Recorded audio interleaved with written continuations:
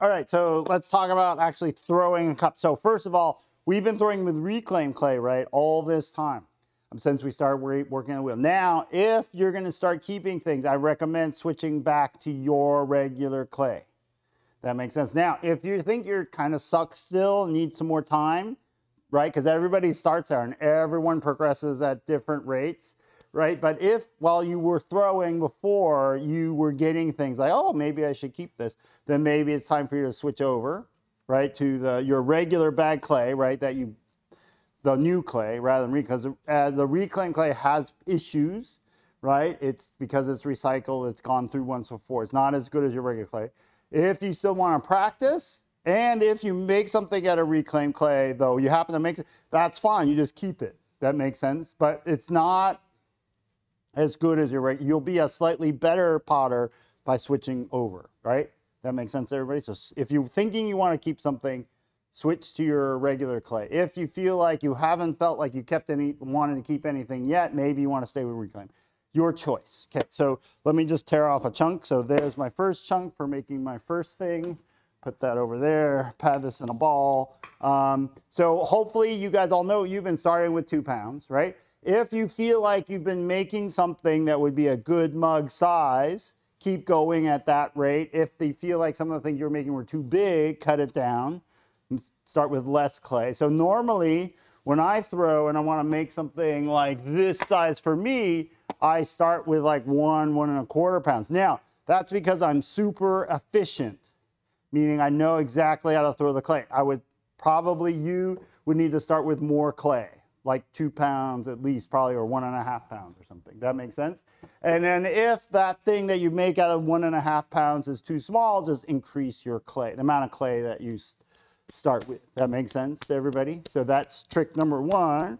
So here we go, pound this out into a ball.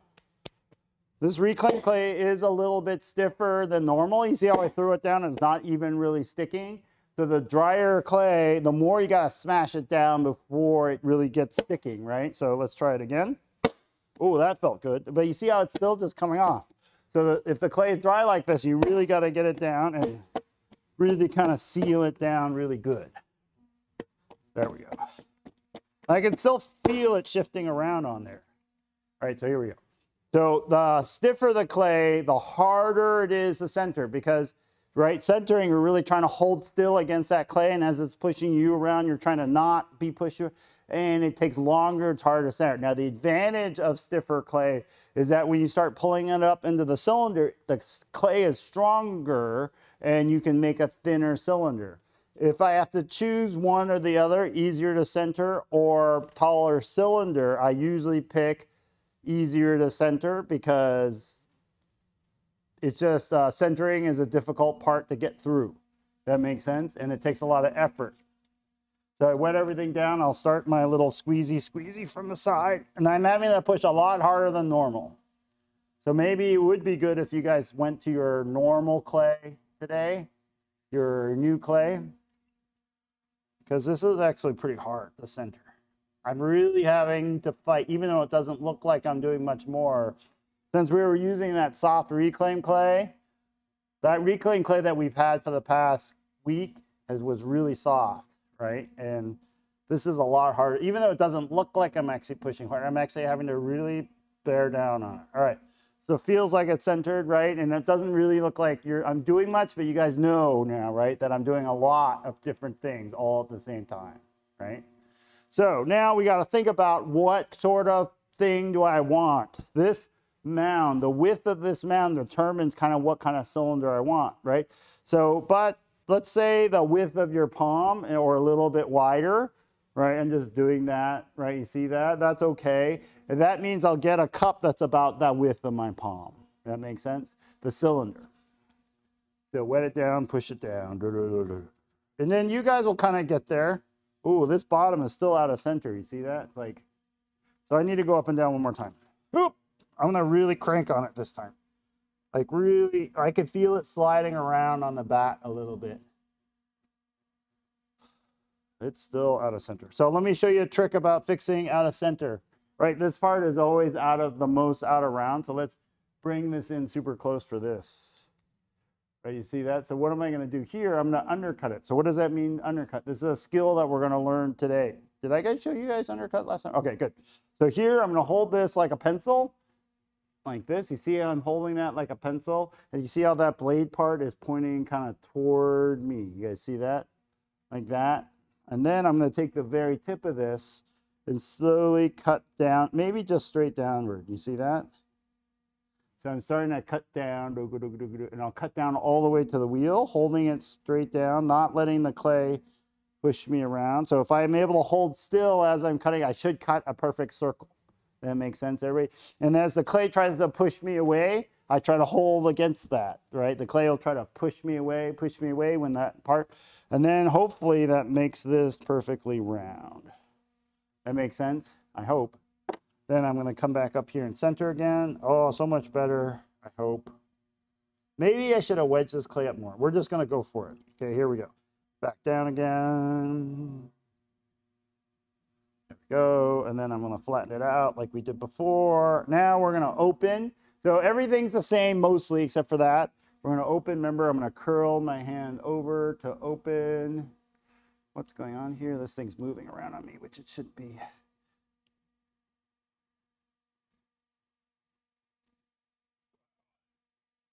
Everything's a little bit back. All right, so here, go down like this. Right, so keeping that curled over, going down. There we go, relax. So I'll just check the bottom. So bottom thickness, so remember we're gonna try to keep this, is critical now. So I wanna stab it down and see the bottom thickness. We want about the, the tallness of your pinky. Okay, see that? For that needle tool thickness, okay? So that's very, very, very, very important. So around that area, okay?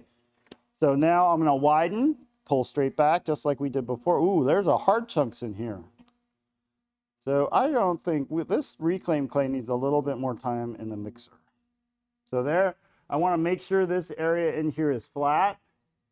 You see that? I wanna make sure that this is flat. So, but it's never flat, right? It always has like these finger ridges going back. So take your fingers like that, make them flat, your three fingers on your right hand side, make them flat like that, and then put your sponge in your hand like that. You guys see that? Like that. And then we're gonna work on the side of the clay that's spinning away. So let's go top down.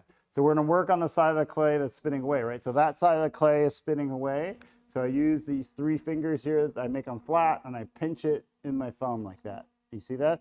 And then I'm just going to put that down in there and rub that back and forth like that. Yeah, see that? So just going back and forth very lightly inside of there. Ooh, so you see now it is looking really flat-ish in there, right? And that's good enough.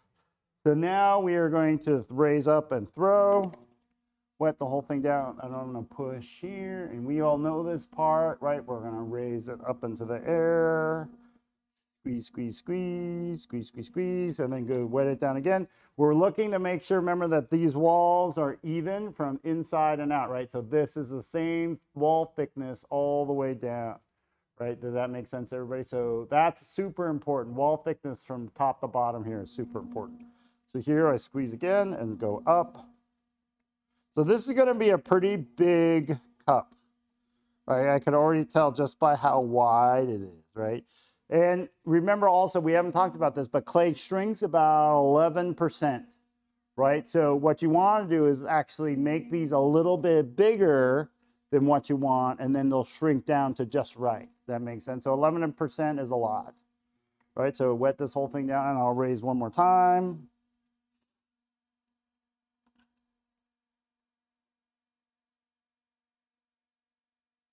There we go. Looking pretty good. Oh, I'm so happy now, right? So that's definitely in cup for me, like John Hasegawa, good usable cup. That makes sense. Like I could put stuff in here and that's tall enough now. All right.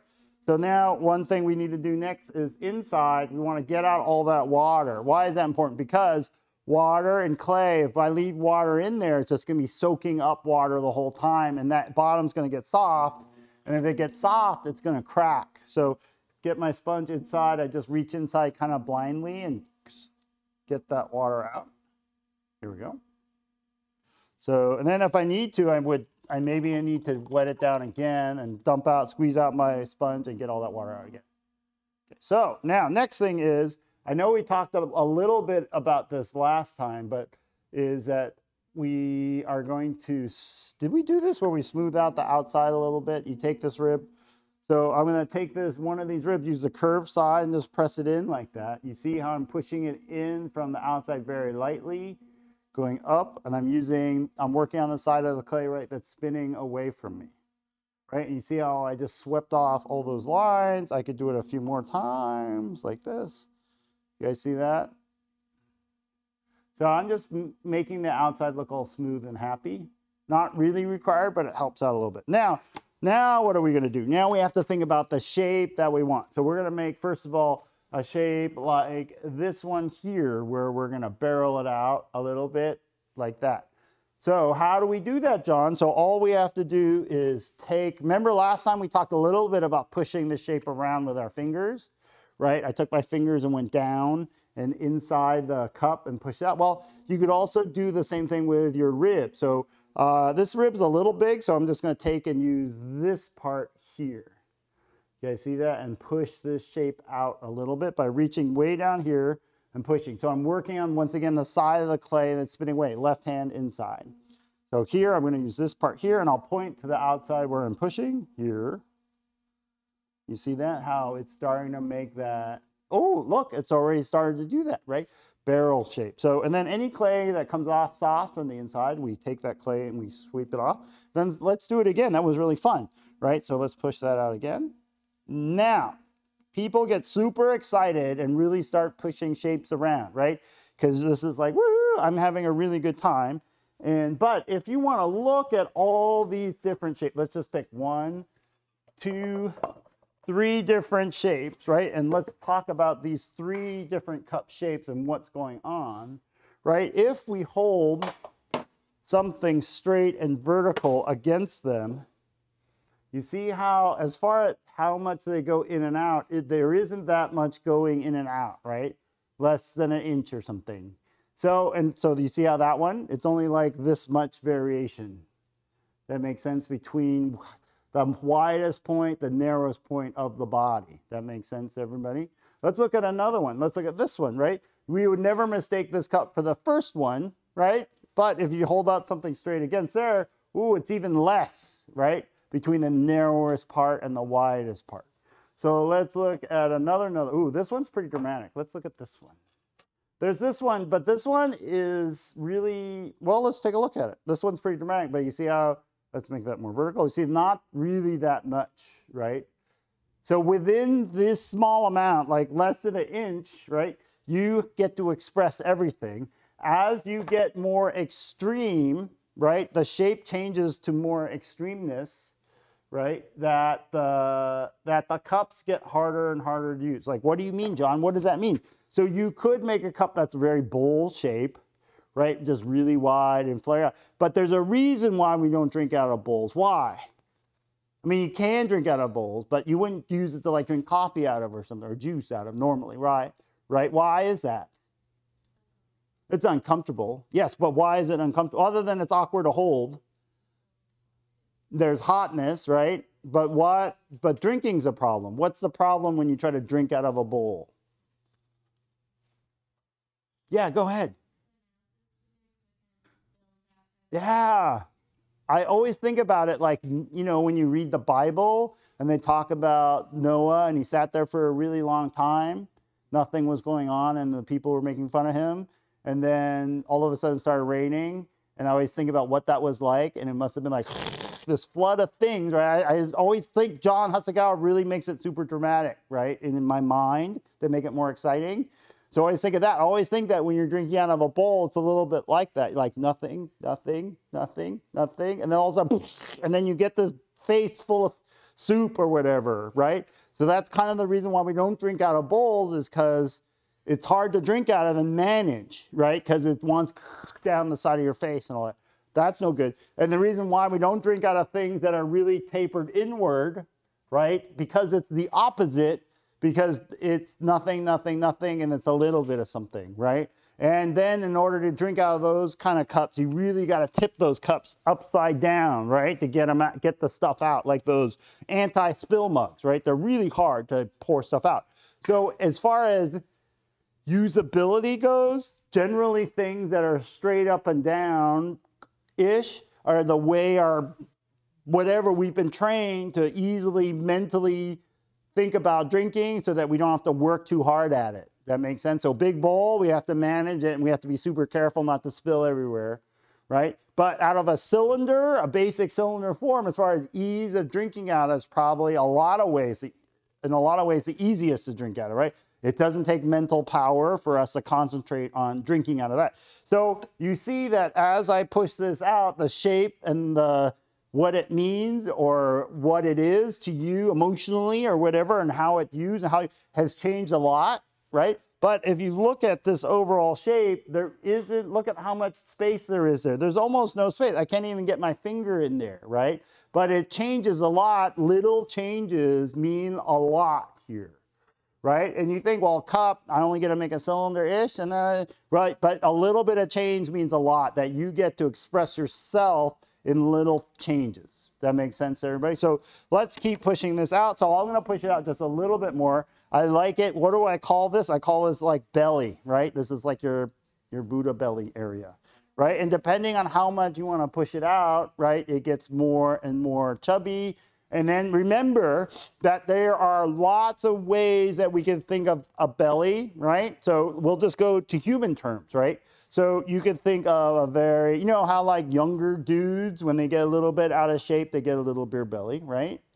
And they're still kind of young, but they're still a little bit athletic. But as they get older, it may get bigger and bigger and bigger. And then you have the people that never took care of themselves, are always sitting around, always eating very badly. And that belly, though, has a weight, right? Has a weight to it right? Has a right? But then you can also think about a woman that is pregnant, right? And then as she becomes, as the pregnancy moves forward, right, it gets, the belly gets bigger and bigger. But that is a different kind of belliness, right? We would never mistake, right, a eight month pregnant woman's belly for like the, the guy who's never exercised or eats lots of potatoes and mashed potato, everything, right, everything wrong. And that belly kind of hangs, there's different kinds of belly. That makes sense?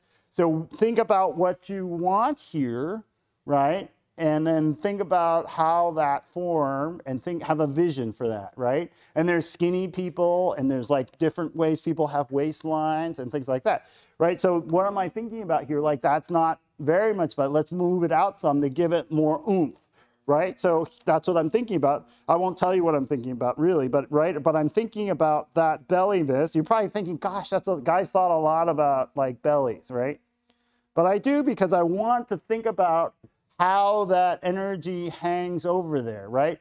So like uh, the beer belly, like the dude, right, that has a really big beer belly, like that beer belly really overhangs, right, and hangs over the belt, like the belt is invisible, right? It's this thing. So and it's kind of gross, right? So if I want that versus like a, the woman, the pregnancy, beautiful pregnancy belly, those are different things, right? So I would say, what are we at here? What is that? I don't know, right? But if I wanted like the more beer belly like look, I would have to maybe get in here. Maybe I have to use my hand and really extendo out this area here right? You see by doing that, just by doing that little bit, where have I done is I've took my finger here and pushed downward here to create more of a bottom heavy thing.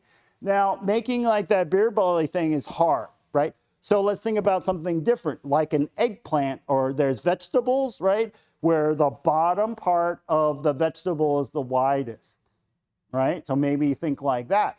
So you see how I move that wider point down? Let's move it down even a little bit more. I'm pushing here with my finger, push, push, push, push, push, push. Oh, look at that.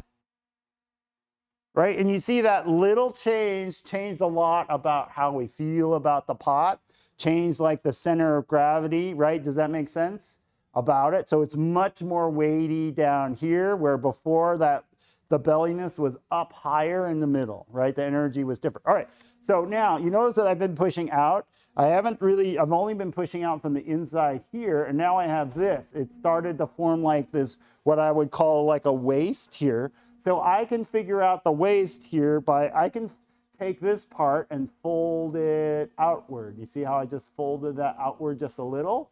Right? And so little changes mean a lot. Maybe I could change it even a little bit more. I, so I could wet this area down. And maybe I feel like maybe I pushed that far out, too far out. I could bring that in a little. Oh, that, I'm very excited about that. I don't know what that is, but I'm super excited. All right.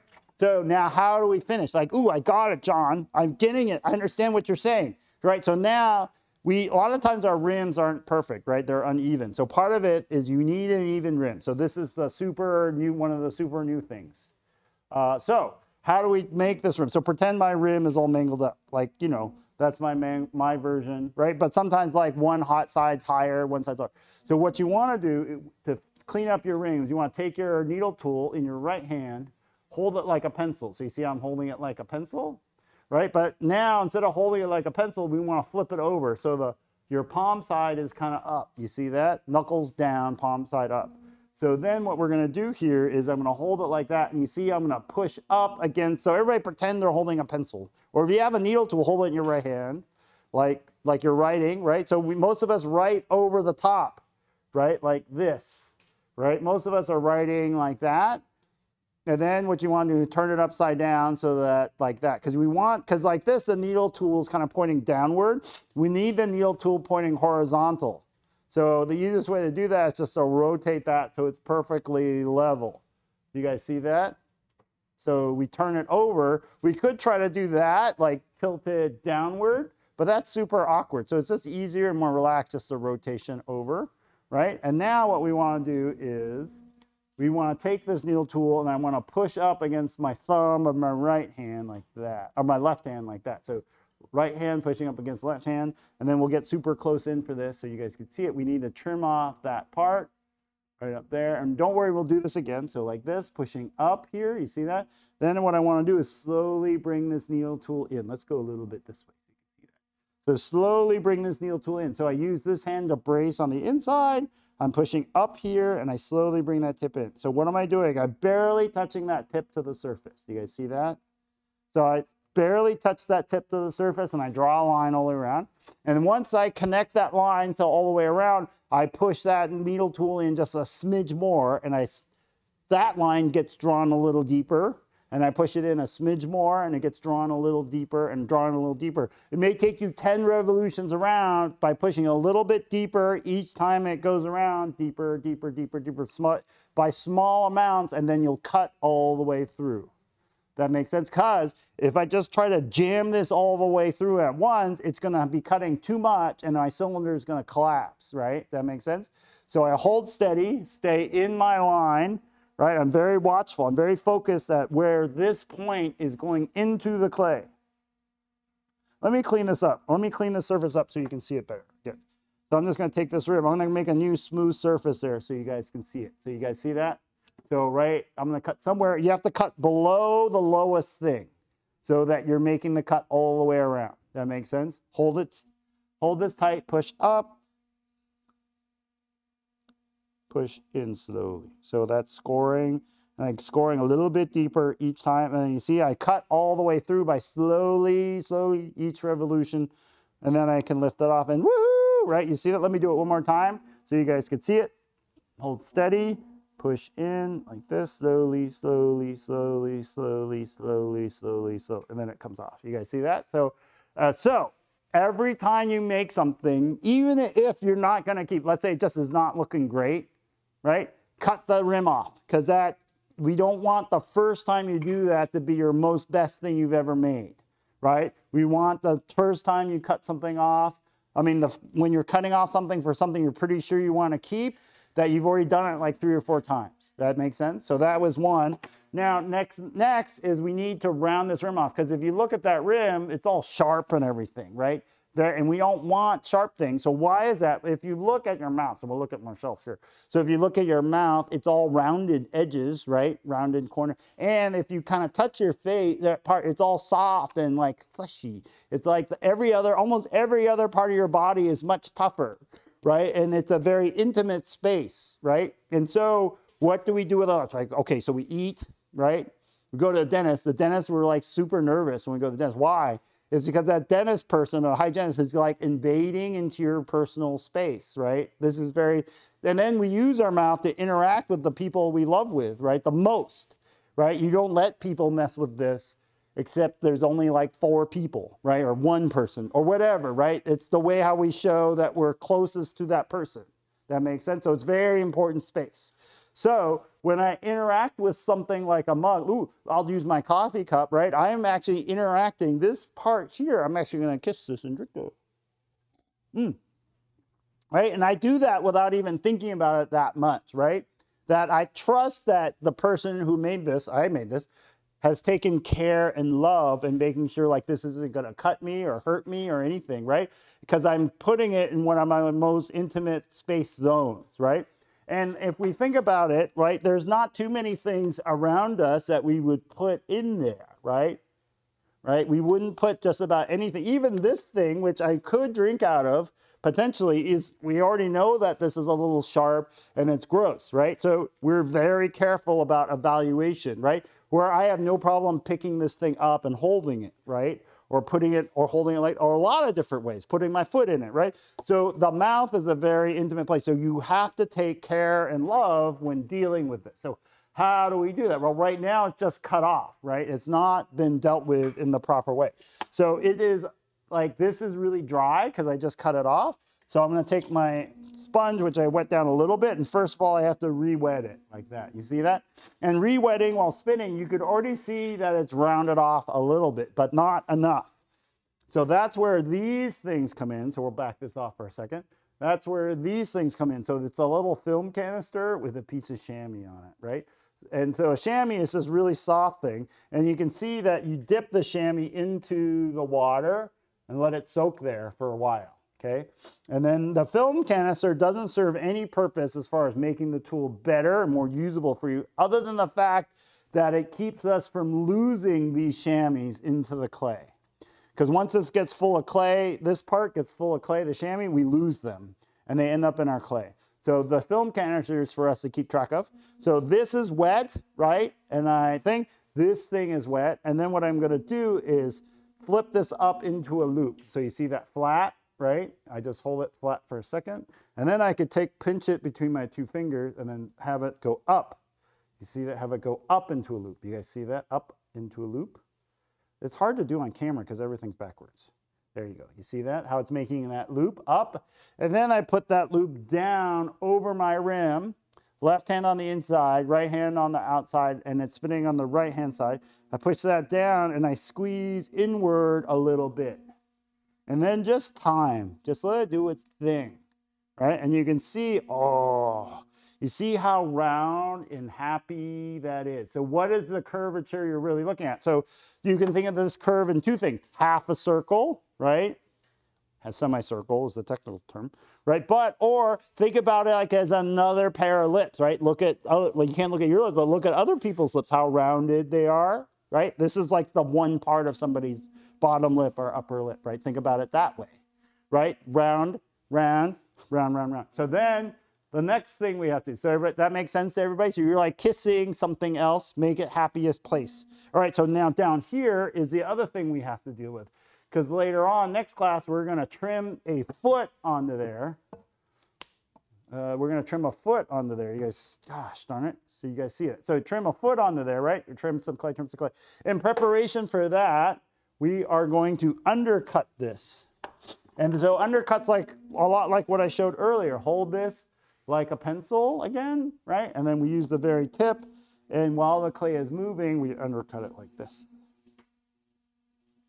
You see that? So I go in and I stay in that same line using the tip as I go in.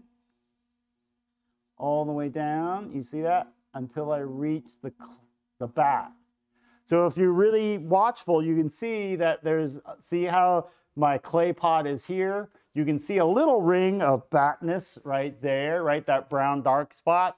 And then there's a ring of clay here on the outside. Does that make sense everybody? So I've actually separated that ring of clay away. And then what I'm gonna do here is I'm gonna use this thing and I see I use this flat blade and the, cut it underneath like that. And then I turn this blade like that. So why do I want to turn that blade like that? You see how I turn the blade like that? So if I hold this in place like that, if I hold this here, this clay will hit this thing here. This clay will hit this guy here, and the clay will kick out and away. So we need to change our camera view so you guys could see that a little better. So here, I'm going to hold this still very awkwardly, and then see how the clay, I'm able to sweep the clay away. Why? Because this thing is tilted like that. You see that?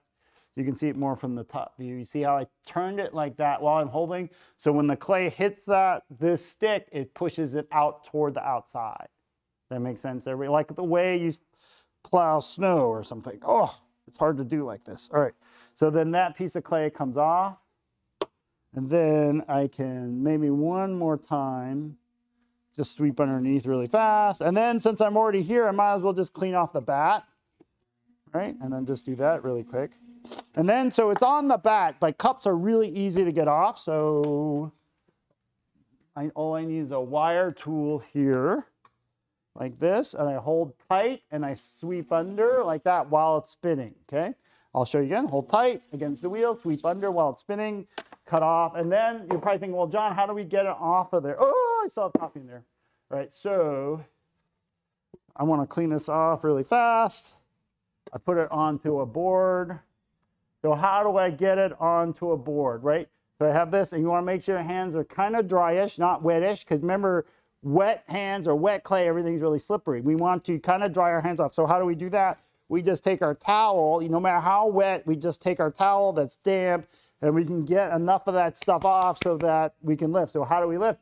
What we're going to, so my board is close by, I, my hands are dry. What I'm going to do is just kind of like lay hands on this pot really softly like this.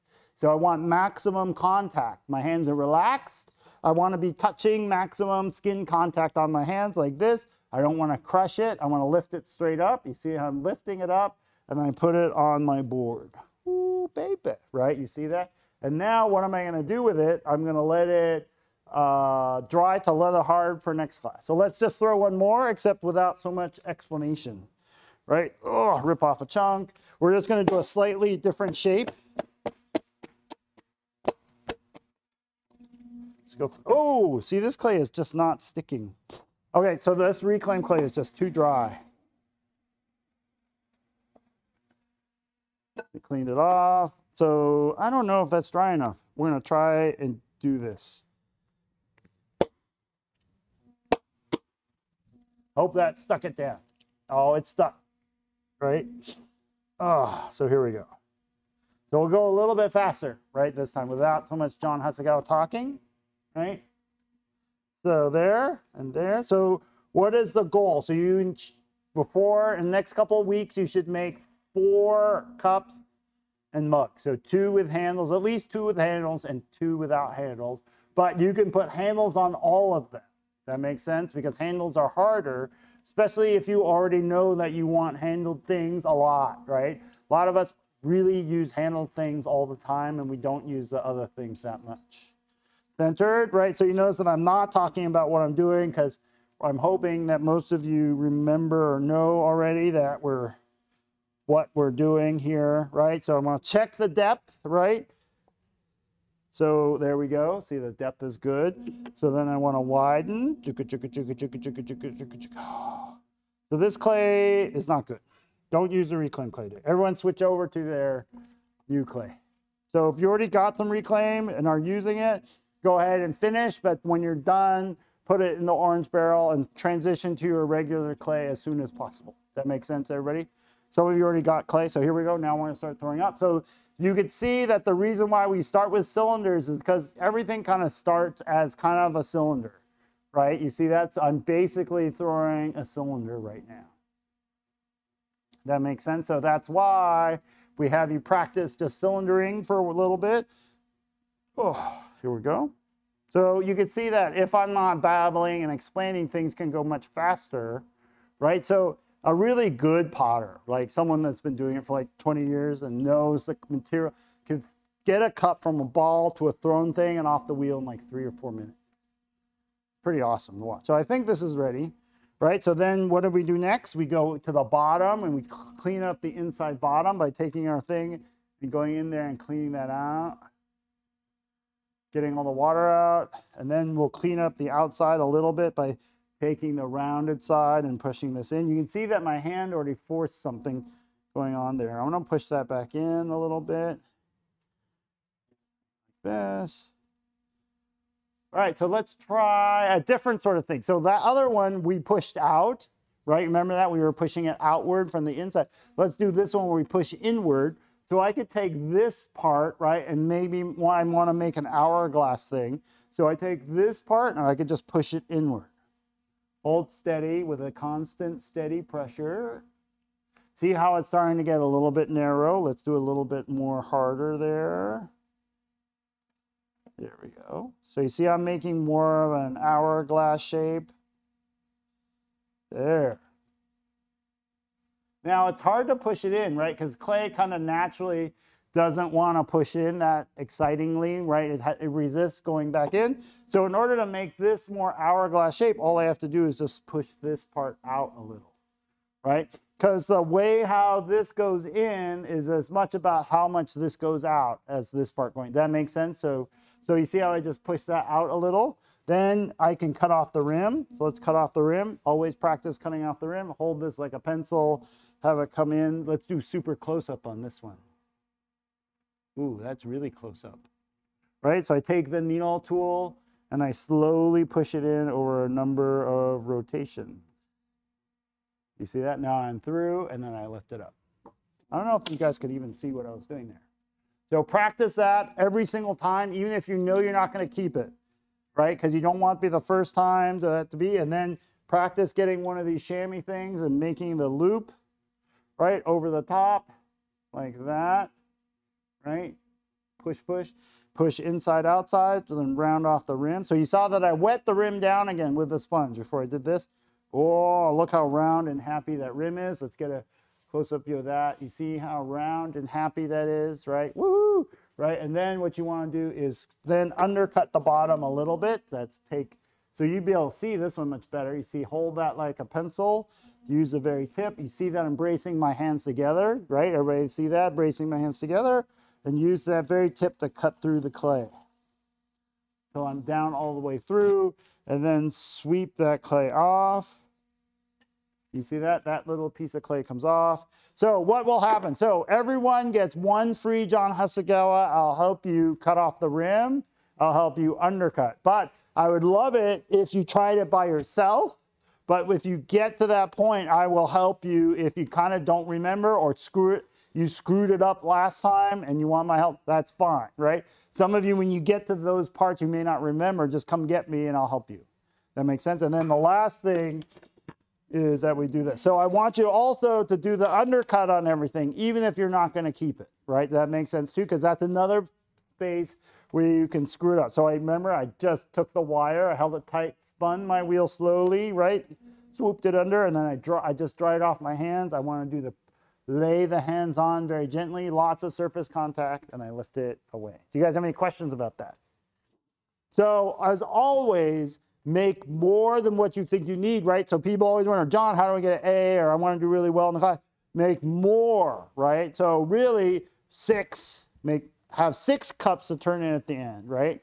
Or have eight cups to turn in at the end of the term. And that means pretty much that you'll get an A because your first four are going to kind of suck. Your first one or two are going to kind of suck really normally because we still got to learn how to put on handles. We might screw that up. You still got to trim. You might screw that up.